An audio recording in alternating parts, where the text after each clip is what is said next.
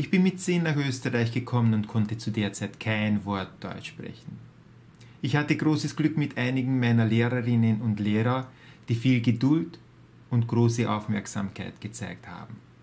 Dank diesen Menschen und einigen meiner Mitschüler konnte ich mich recht schnell einleben und die Sprache erlernen. Ich weiß aus eigener Erfahrung, wie wichtig es ist, Sprachen zu erlernen und eine gute Ausbildung zu bekommen, um ein glückliches und zufriedenes Leben führen zu können.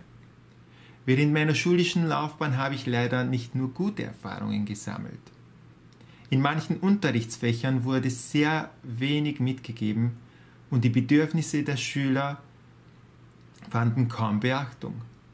Dabei ist es essentiell, dass die Schüler Vertrauen in ihre Lehrkräfte und das Schulsystem haben und die Angst überwinden, sich weiterzubilden und sich weiterzuentwickeln. Mein Hochschulstudium habe ich erst viele Jahre nach meinem Hauptschul- und Hochschulabschluss absolviert. Frei nach dem Motto, lieber später als nie.